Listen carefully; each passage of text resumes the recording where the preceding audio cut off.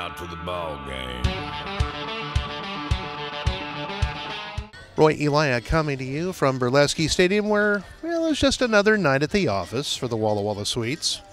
Just your basic come from behind win. All appears lost, seven to four, bottom of the ninth. No need to worry.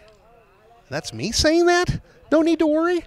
Sweets score four times in the bottom of the ninth inning, and come up with an improbable eight to seven victory over the Ridgefield Raptors. And we are joined for this post-game edition of the Sweet Scoop by the man who is last name is Vitt, and he proved in the bottom of the ninth he is legit.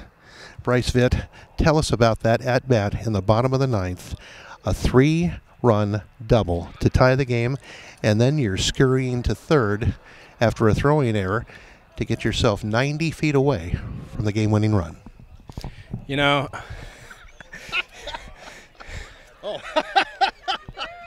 my man.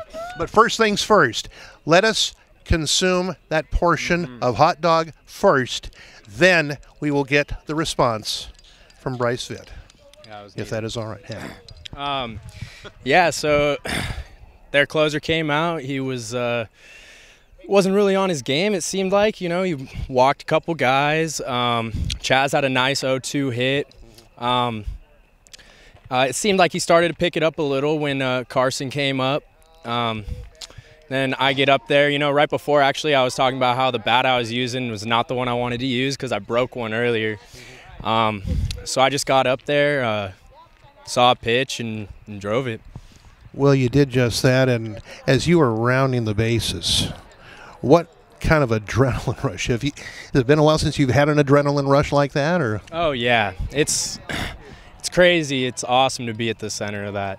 Um, And speaking of the center of it, Brock Efon making a cameo appearance, and here's a cameo appearance by Sean McKillop doing their best Larry Price impressions here at the ballpark. So, again, uh, talking about that adrenaline rush as you're making your way around the base paths. Yeah, you know, it's awesome. Uh, it feels so good to help the team in that way. Um, I feel like I've had kind of a rough night before that, and then to be able to do that just felt awesome. And now some love from Reed Sebi.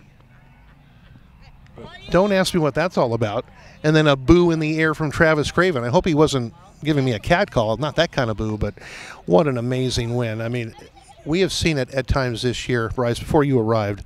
You know, we talk about the quality of the ball club. And here was an example of okay, we're down three in the bottom of the ninth, nowhere to go but up. And right. is that kind of the attitude you guys took into the bottom of the ninth? I mean, yeah, they score Yeah. three, but you know, you just don't want to just roll over just because Repetti's coming into the ball game. Yeah, you know, um, that top of the ninth definitely uh, it hit us pretty hard. You know, three runs. I mean, that's tough. Um, and I mean, our pitchers were, I think, for the most part, doing their job. Uh, they just kind of squeaked out a couple hits, got a couple runs, got a few runs. Um, but yeah, we went back in the dugout, and LP actually said, uh, he's like, "We're not scoring three, we're scoring four. We're getting out of here." And you know, that's exactly what we did. Those are the comments of Walla Walla Sweet Bryce Vitt, who comes up. Do I dare use the word ginormous? I mean, I could think of a few other choice words, but that was the first one that came to my incredibly warped mind. Bryce, congratulations. Congratulations to the Walla Walla Sweets, Sweets Nation. You got to be proud of these boys. You got to love these guys. The resiliency they showed tonight was nothing short of incredible. The Sweets, eight.